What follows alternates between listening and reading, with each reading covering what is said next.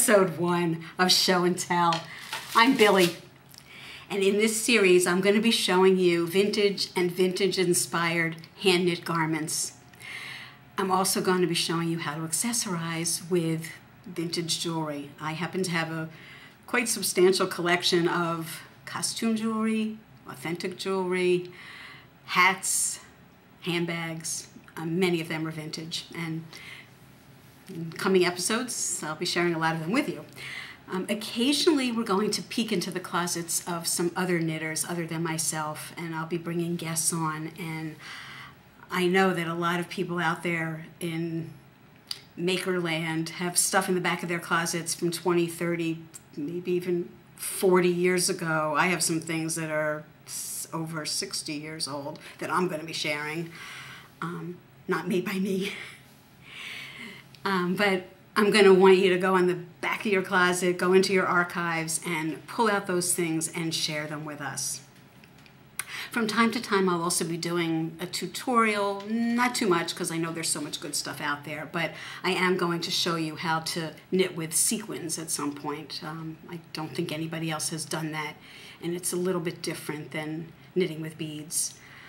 Um, in the meantime, I hope that you'll comment below tell me if there's specific things that you'd like me to talk about. But I wanted to say, um, in keeping with the Hollywood theme, I stayed in the right color palette. I'm doing a whites and shades of gray for you. Um, I wanted to just show you my monogram. I'll talk about the sweater later on in the episode. But I must say, living in Manhattan, I sometimes feel like I'm in the Woody Allen film, Manhattan, because my world tends to be a very black and white world. I love that aesthetic. I live in the ninth floor of a high rise building in an apartment, and I, I have to say that some of you out there could fit my entire apartment into your kitchen. So as a result, I don't do a lot of cooking, I don't garden, and I don't do stash.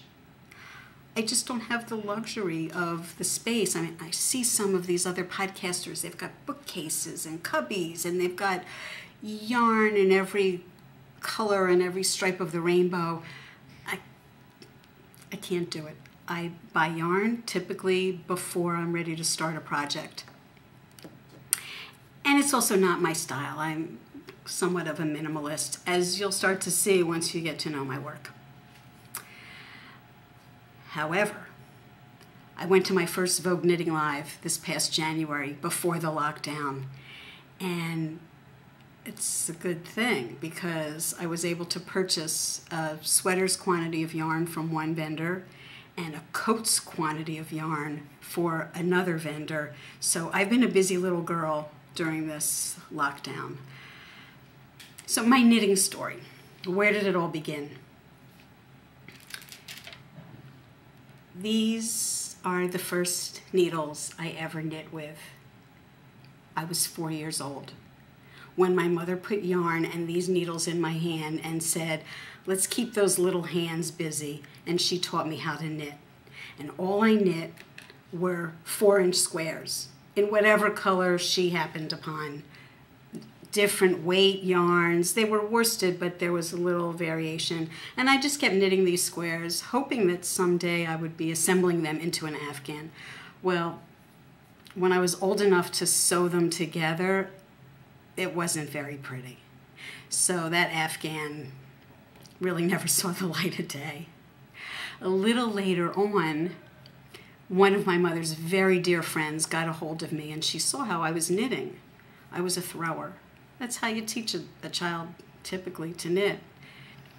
And she said to me, Billie, you're knitting like an old lady.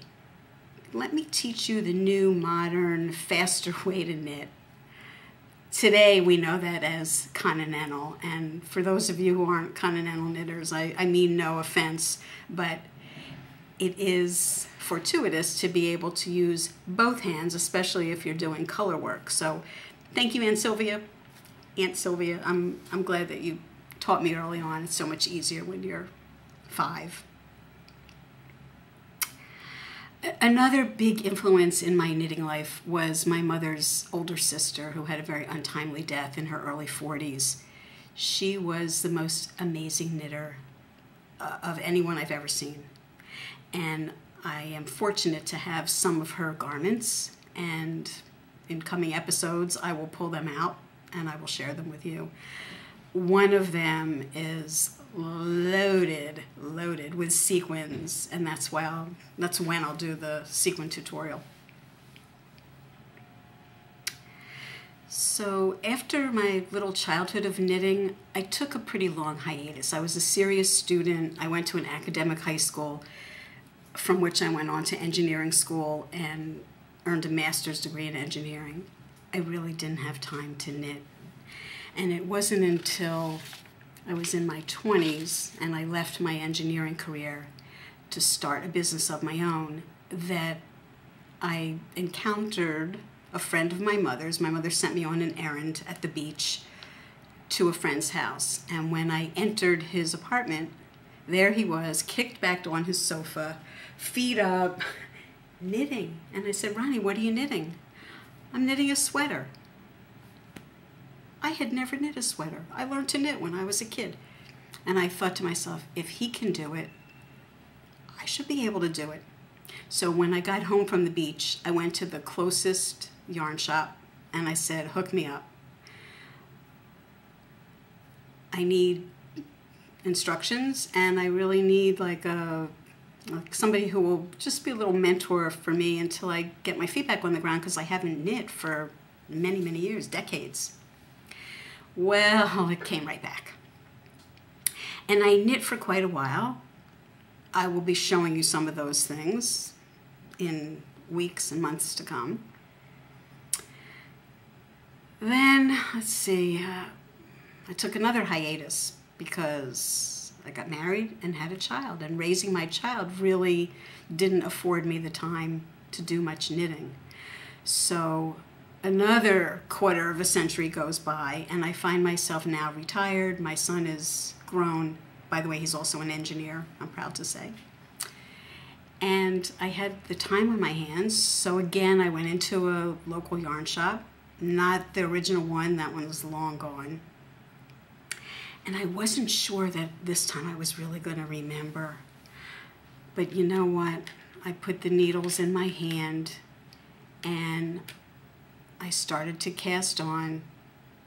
It was coming back. Once I started knitting, stockinette back and forth, it only took me about five or 10 minutes and I felt like I was up to speed. It's kind of like driving a car. You know, if you haven't been behind the wheel of a car for five or even 10 years, it's no problem. You have that muscle memory, especially with knitting.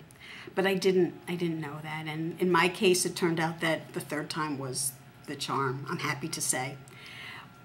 What's maybe a little less happy is that this time I'm a lunatic about it. I can't stop. All I want to do, especially now with this pandemic and being locked in our apartment, all I want to do every day is knit, knit, knit. Good thing I got that yarn at VKL. So I had mentioned that I, I had a, a business. I had um, started an importing business so I'd be able to travel a lot, which is my really big passion, even more than knitting. And I was importing costume jewelry from Paris and Milan, or as my suppliers would say, bijoux fantaisie, or if I was in Italy, bigiotteria fantasia. and I had some really good years and a lot of fun doing that. But again, that was before my child was born, so um, I've had all these years to accumulate quite a nice collection of jewelry, and in those years, I've lost my mother, I've lost a couple of grandmothers, and being an only child, I got a lot of the jewelry. So, um, it happens that the earrings that I'm wearing are not inherited, but something that I picked up at an antiques fair. Um, if you're a real vintage jewelry aficionado, you might think that these are Miriam Haskell. They have that kind of flavor to them, but they're very white for a very white sweater. So let's talk about the sweater a little bit. It is called Charisse, as in Cyd Charisse, the Hollywood film star of the 1940s and 50s. It's by Jennifer Wood, and again, I embellished it with my monogram. It's got little pearl sphere buttons. I really wanted round buttons for some reason, and they sent me the wrong buttons. They were half spheres. And I said, no, no, I ordered the sphere. So the button company was very, very nice. They didn't even ask me to send the wrong ones back, uh, and they just sent out the proper ones. So there's some eyelet, there's some pearl bumps, and um, let's see, it's a rounded yoke, top-down construction, and it's all worked in one piece. I use number five needles, and the yarn is cotton by Yarn Art Jeans. Oh, there's also, I forgot, Picot Edge. Now, interestingly, there's only eight ravelers, I think including myself, who have knit this particular sweater, which surprises me because it's sweet, it's very sweet. So I forgot to mention to you, I'm the kind of person who goes into the yarn shop with a handbag or a scarf and I say, I want to pick up the colors in my accessory to build my wardrobe around that. And I start looking at the yarns, and invariably I have a hard time finding just the right shade, just the right hue. They think I'm nuts. But if you're making something for yourself to blend in with your wardrobe, I think we all probably would say, like, we want what we want. And sometimes it has to be special ordered. Sometimes you just have to keep looking. And this is easy white. It's not always so easy for me. Okay, the other white sweater that I'm going to show you today is by Amy Chris, Christoffers, Christoffers. It's called the Neel Jacket. And let me see if I back up, if you can see the full length of it. It's got a little cuff sleeve, a lot of seed stitch, and a chevron design. The whole back is chevron as well. And one of the little tricks that I learned from my Aunt Matilda was this hem. The pattern didn't call for a hem. The pattern just was seed stitch to the bottom.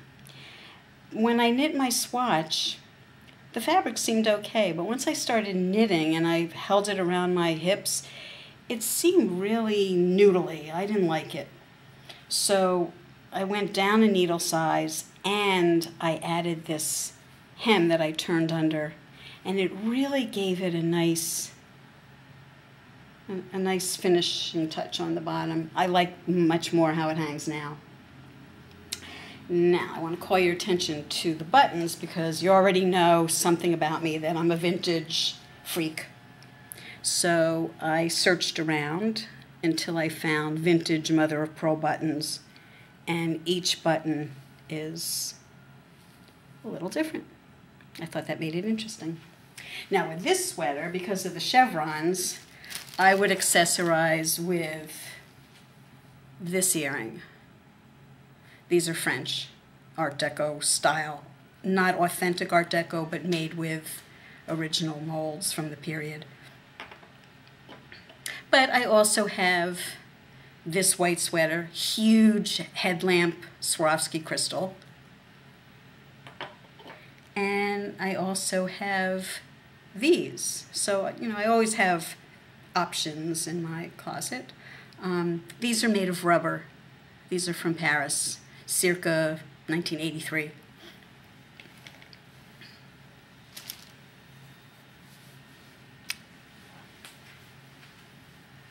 Um, oh, this is Knit Picks Comfy Worsted, knit on size 6 needles, by the way.